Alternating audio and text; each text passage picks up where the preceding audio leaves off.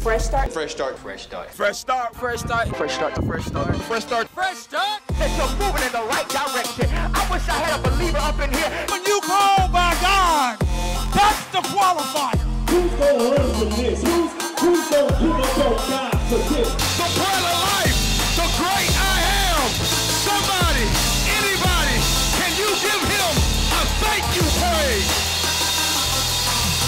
For about 15 to 20 seconds to remind that joker and give him a spiritual headache. And God is telling Jesus, get the hell out of here. Can you look at somebody and say, I had to be stepped on. I had to be lied on. I had to be crushed. I had to. I wish I had some believers that would have church with me up in here.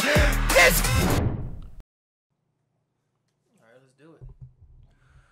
What's up? What's up? What's up, y'all? Welcome, welcome, welcome to Fresh Start Church, where we exist to revive, refresh, release, and to restore people back to God. It is our mission to make Jesus famous in your life. Hey, check it out. Week two of our series, Due Season. about what I'm doing. I don't do trash. Listen, I'm I'm loving this series. Okay, I'm absolutely loving this series because I'm loving how it's provoking us to actually go out here and do something about the things that we say we believe in, to do something about the things that we say that we're called to do. So, I'm excited about it. I want to dive right into it. I don't want to waste no time. I want to get you in. I want to get you out, and I want you. I want to get you excited about everything that's inside of you. So do this. Go with me to Psalms 91. I know it. It's a very, very popular, uh, popular scripture for most people, not for all people. But uh, let's see if we can, you know, dig something new out of this one. Feel me? Uh, we're gonna start at verse number. We can start at verse five. All right, I'm, I'll be reading from the New King James Version. And it says, You shall not be afraid of the terror by night, nor the arrow that flies by day, nor the pestilence that walks in the darkness, nor the destruction that lays waste at noonday. Today, we'll be speaking from the subject I ain't ever scared. yes, I ain't ever scared. We have a, as human beings, we have a very, very interesting relationship with fear. Like, can you describe what fear feels like, what it looks like, what it does to us, what it does to our minds, what it does to our bodies, how we respond to it?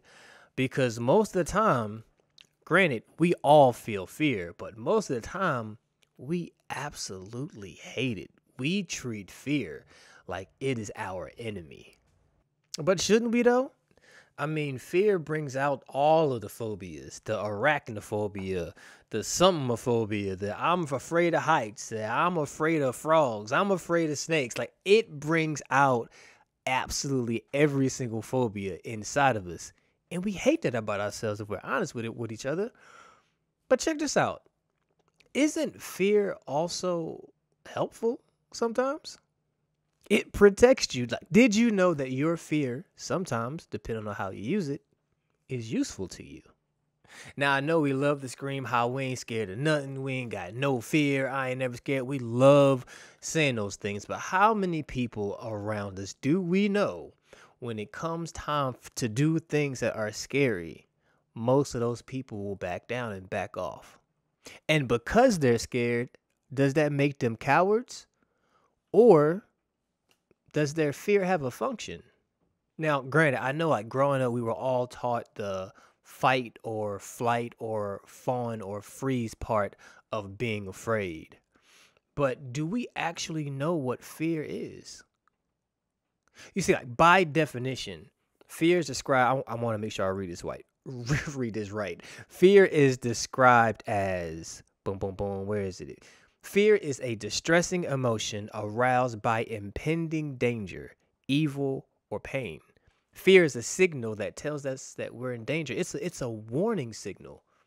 Aren't warning signals good for us? I mean, that's useful, right?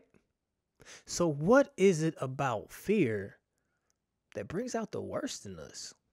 What is it about my fear of embarrassment that makes me treat people badly? What is it about my fear of snakes that prevents me from going to the zoo? What is it about my fear of heights that stops me from going into an elevator? The more and more I think about it, I'm starting to realize that fear isn't the actual bad thing. It's the decisions that we make out of it. The signal is good, but our reaction isn't always good. Because how many poor decisions have we made out of fear? Now, Bible scholars will debate back and forth who they believe wrote the scripture between Moses and between King David. Some say it was Moses, some say it was King David.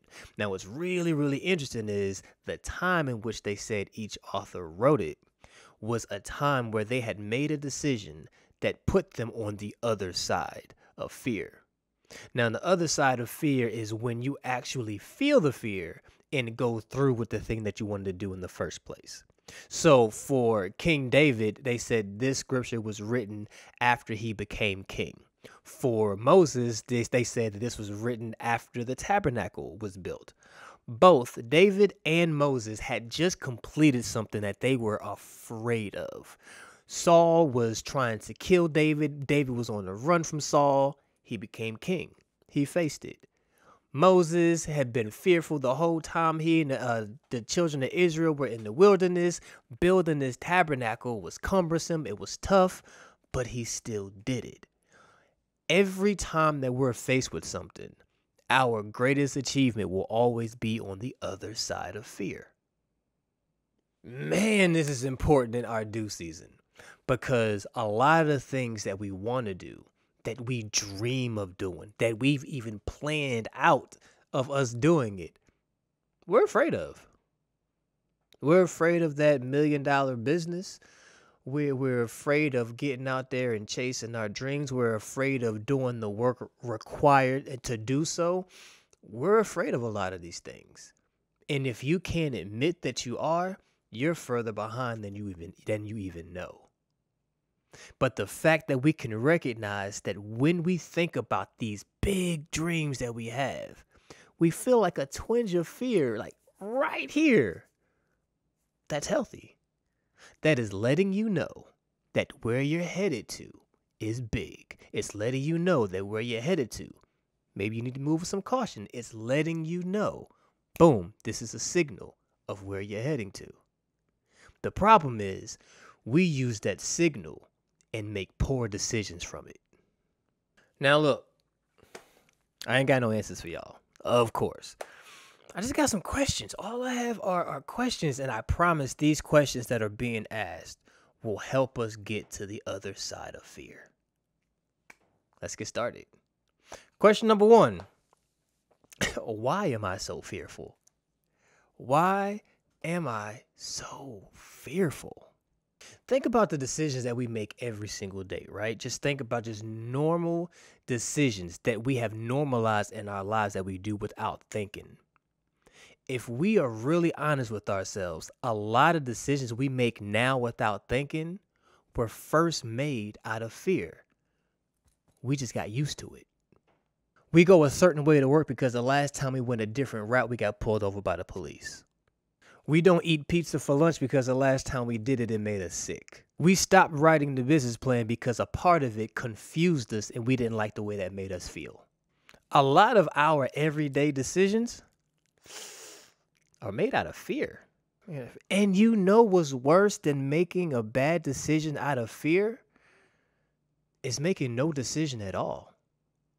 See, that's the part of fear that freezes us, keeps us in one spot, prevents us from moving in the direction that we know we're supposed to go in. We have normalized our fear so much that some of us actually don't believe that we're that fearful. It's normal to us now. So that's letting us know when God tells us not to be fearful, we have to like we have to make a conscious decision to not be fearful because we made so many normalized decisions to be fearful. But why is that? Man, I believe a lot of us are are fearful because we don't take the time to understand our fear And a lot of times we don't even take time to feel it. Like, just think about it. The moment that you feel fear, the moment that we feel fear, our natural reaction is to get away from it. If you see a dog and you're afraid of dogs, your natural reaction is to get away from the dog. If you're afraid of heights, like me, and you get up somewhere high, like your instant reaction is to get somewhere lower. When we feel fear, most of the time, our natural reaction is to not feel it anymore.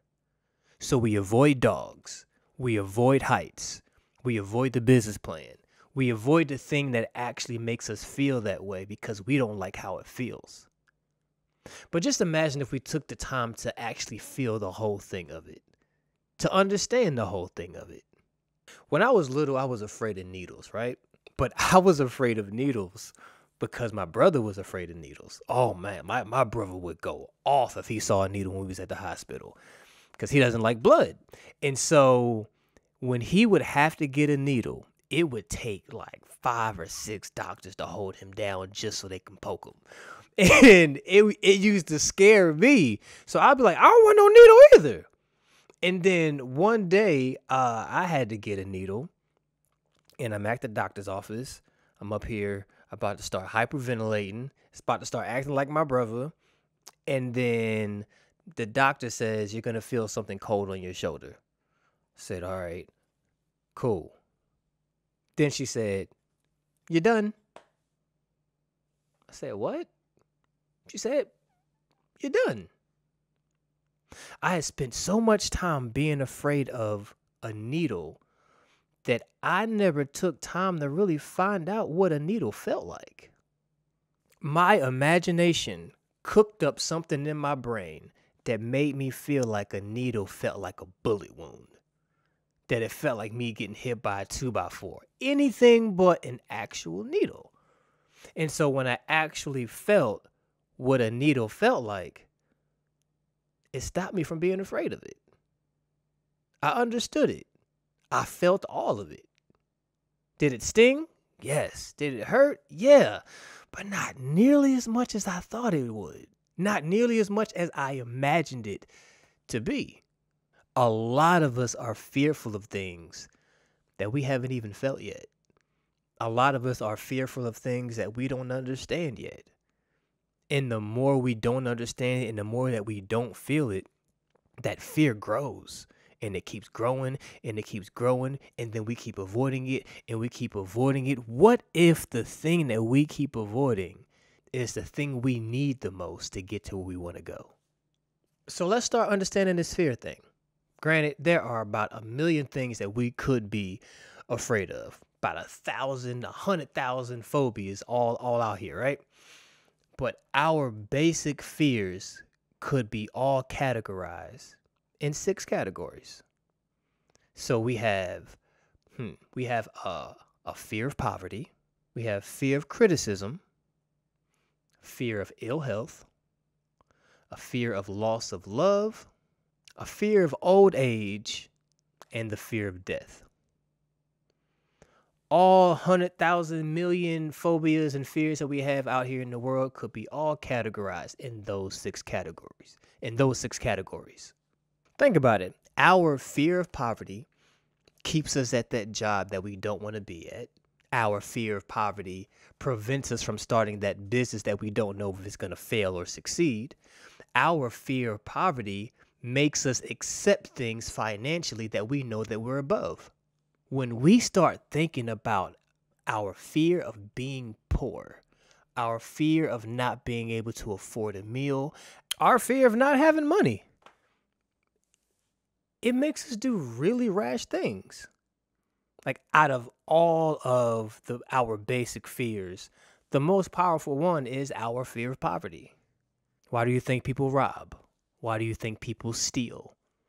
Why do you think people con? Why do you think people commit fraud? Or why do you think uh, people scam? It's a fear of poverty.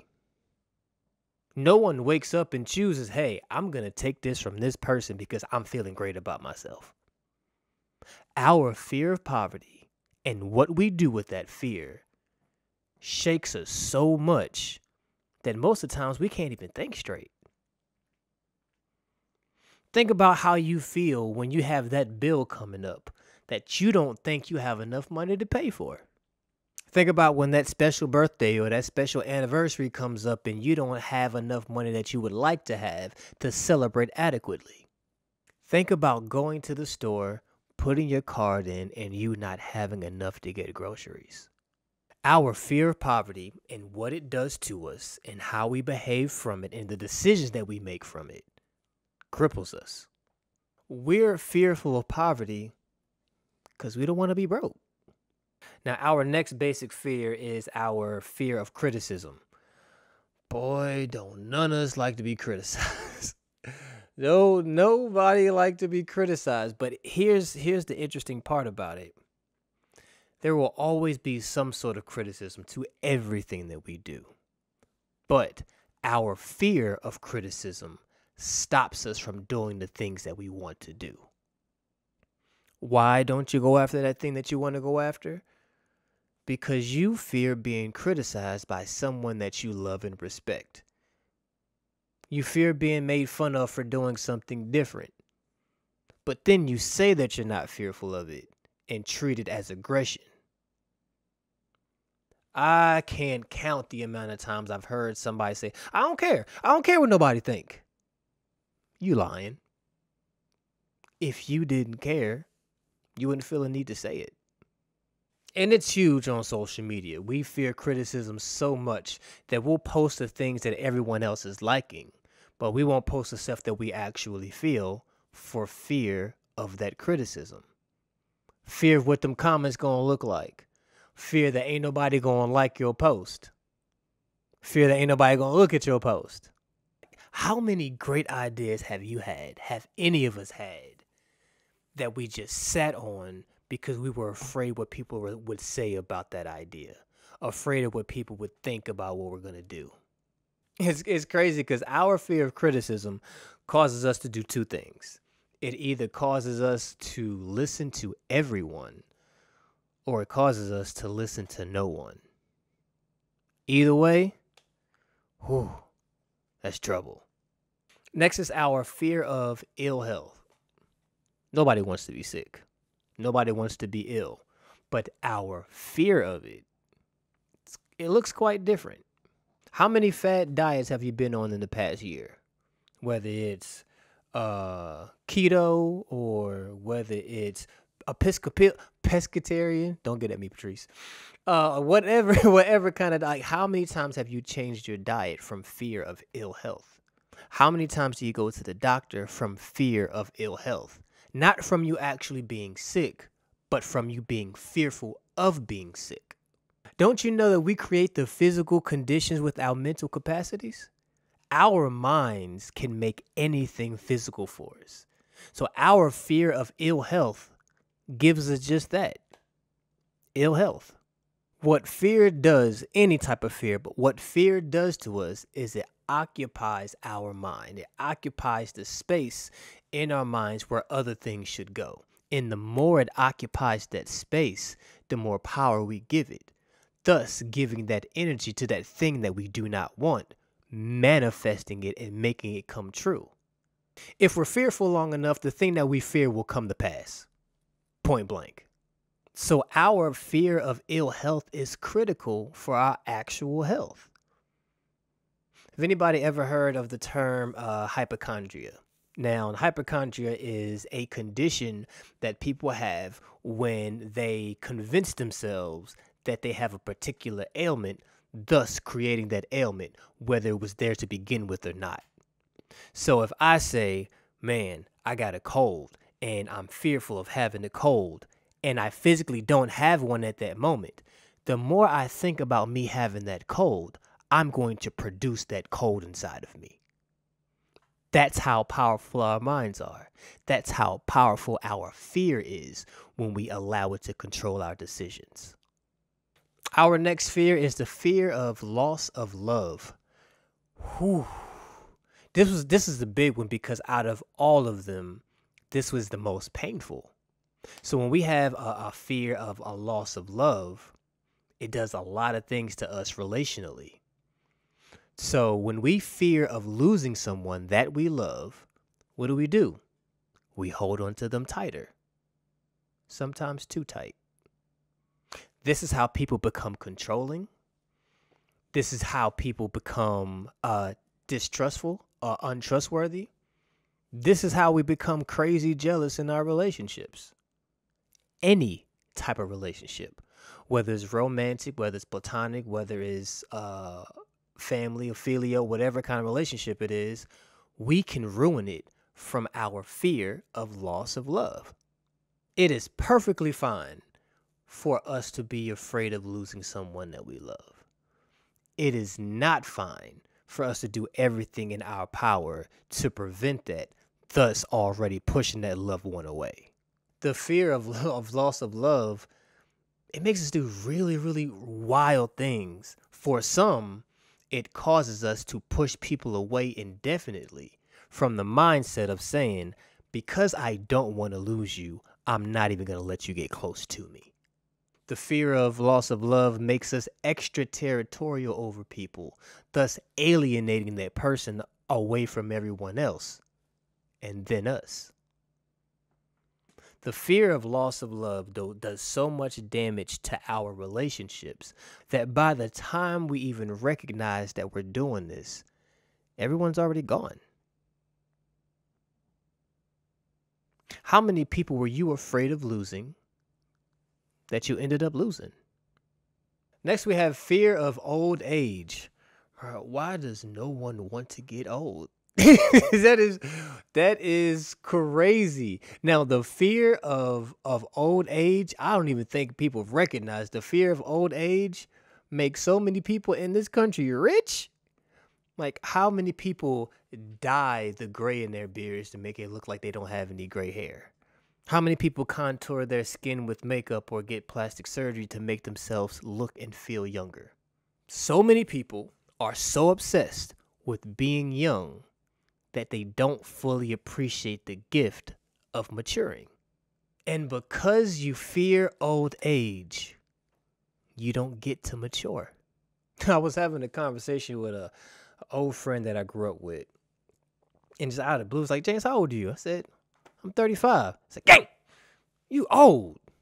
It's like, yeah, stupid. Ain't that the point? like, isn't the point of us living life to live it, to continue to get older. But figure something out. A lot of people don't have a problem with getting old, they have a problem with looking old. So we spend all of this money trying to look like the people we're raising. We spend all this money trying to relive all of these times in our past lives that we didn't take advantage of the resources and the opportunities that we had then. So we try to relive them now. Fear of old age. But there is one big reason why we as people have a huge fear of old age. And it speaks to our last basic fear fear of death. now, the enemy loves to use our fear of death against us who churches love to use your fear of death against you. Because if I can get you to fear death, I can get you to do anything.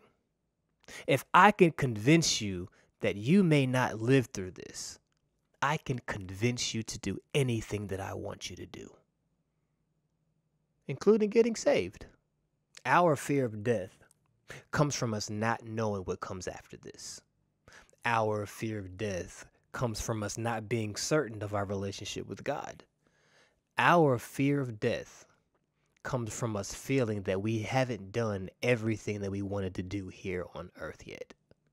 All of these basic fears, all six of them, whether it's fear of poverty, criticism, ill health, loss of love, old age, or death, all of these fears can be used against us by the enemy and has been used against us by the enemy numerous times and convinces us to make decisions that go against who we really are.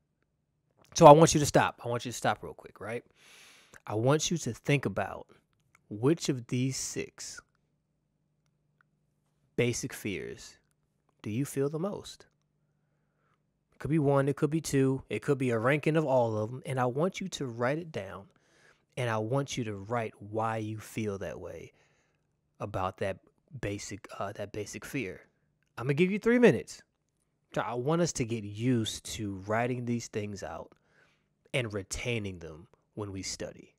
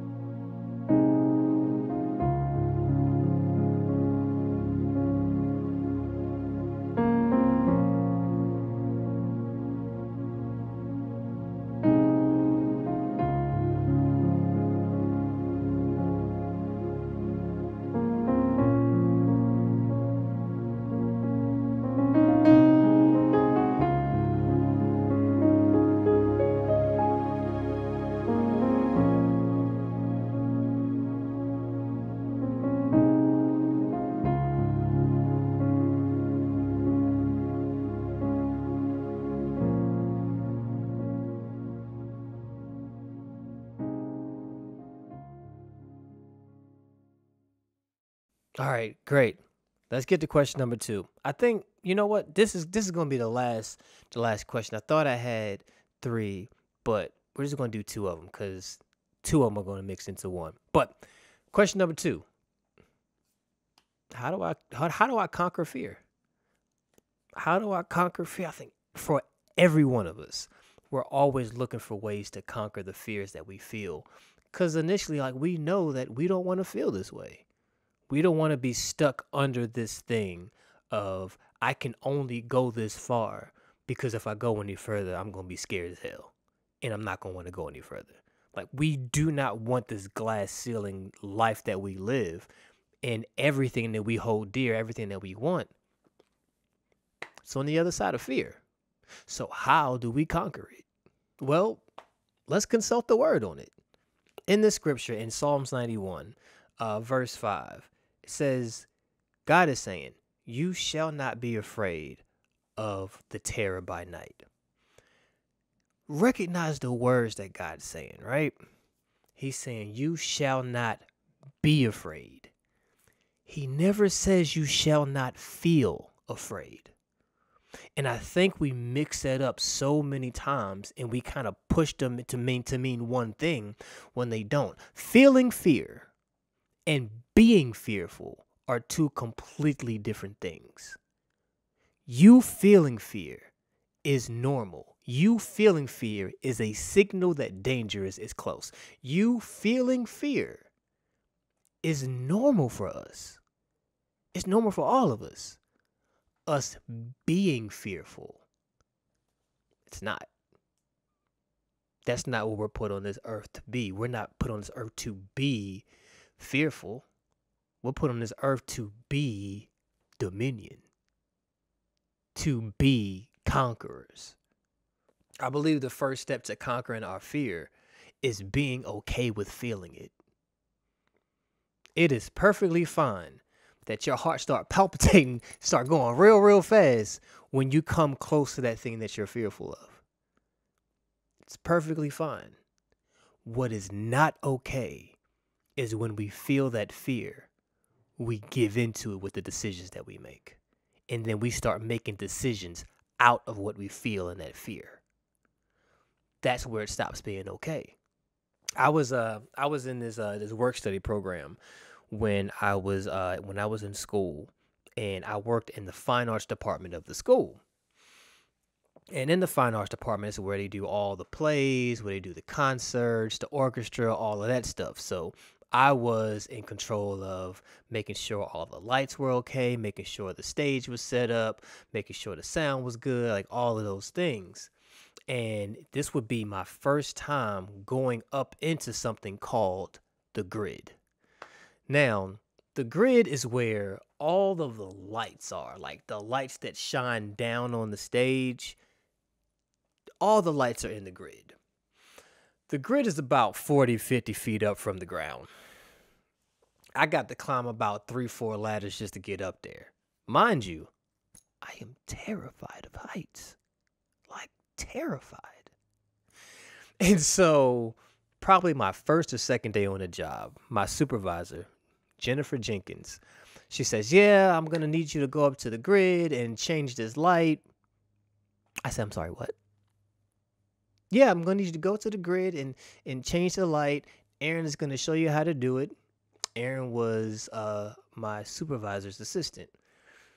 And Aaron is going to show me how to put this light up. But for her to show me, I'm going to have to go up there. and so I'm climbing the first ladder. I said, cool, I'm good. You know what I'm saying? It ain't nothing but about 10, 12 feet up. I could jump down. Like, I'd be fine. Climb up the second ladder. I said, oh, this is a, it's a little high climb up the third ladder, my legs start doing this.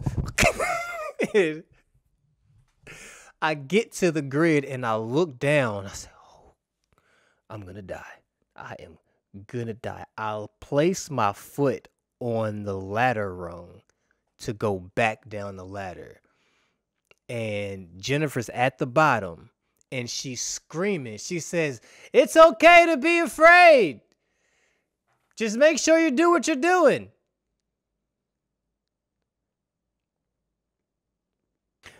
Um, I didn't understand it then. But she said, It's okay if you're afraid. Just keep doing what you're doing. Jennifer Jenkins acknowledged my fear without accepting me running away from what I was doing.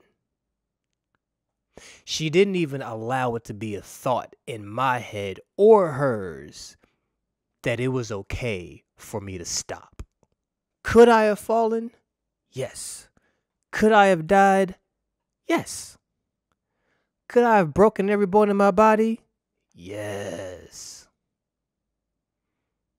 But I also could fix the light. I also could walk this grid, feeling the fear, but still doing my job. All my life, I had been afraid of heights. But I had yet to feel, completely feel, what that fear feels like while I'm in it. I'm sweating. I'm breathing hard. I'm trying to figure out how can I do my job while I feel like this. The function of my fear let me know that I was in danger of falling. My normal reaction to this fear would be to get as close to the ground as possible. But on today, my reaction was to proceed with caution. That's how we conquer fear. I'm afraid of dogs. Proceed with caution. I'm afraid of being embarrassed in front of a whole lot of people. Proceed with caution. I'm afraid of speaking publicly. Proceed with caution. I'm afraid of doing this wrong. Proceed with caution. Our remedy for fear has always been to go the opposite direction. When the actual remedy is to keep going in that direction with caution. I fixed the light on the grid, did some other stuff up there. And as I'm coming down the ladder, after the job is done, I feel this wave, this sensation in my body that I have never felt in my life. This was the first time I had done something in fear, but not out of fear. I was in my moment of feeling fear, but my decisions were not out of fear. In this due season, it is okay that you feel fear. It is okay that you feel it really bad. It is okay. But during this due season, it will not be okay for us to go the opposite direction. In this due season, we will proceed with caution. Father God, you are amazing. You are wonderful. You are brilliant. You are a genius. We love you for loving us. We appreciate all that you do for us. We appreciate everything you are in us and to us. Father God, cripple the fear inside of us that it will not be our decision maker. it will not be our decision maker. It will merely be a signal for what's to come. It will signal us for danger. It will signal signal us for what's imminent so that we can proceed with caution. Give us wisdom to be cautious. Give us wisdom to be courageous. Give us strength to be courageous. In this due season, God, cripple the fear inside of us so, so that we may proceed, even if it's in caution. We love you. We need you in this time. In Jesus' name we pray. Amen. Y'all know how we do here. We love you. God love you so much more. Go out there and do something dope.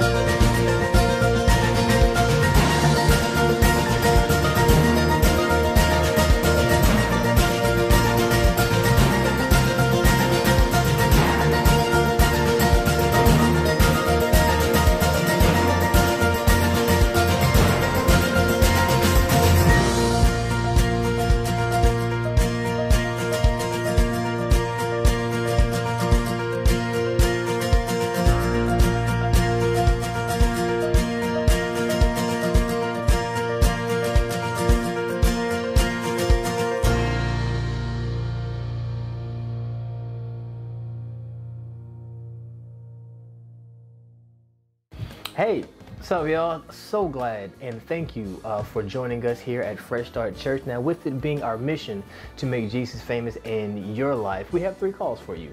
Uh, the first, if you do not know Jesus as your Lord and Savior and you would like a relationship with Jesus, text that number. We can definitely help you there. Second call. Uh, if you do have a relationship with Jesus and He is your Lord and Savior, but you would like a better relationship with Him, text that number. We got you. We can definitely help you there. And three, uh, if you do not have a church home, there is nothing fresher than Fresh Start. We will get you into your fresh start, and we would love, love, love to have you. So join the crew. That is all three calls. If you want to be saved, if you want a better relationship, or if you want a church home, text that number. Also, the given options are in the descriptions. Hey, we love you, but God loves you so much more. Go in peace, and may the peace of God be with you.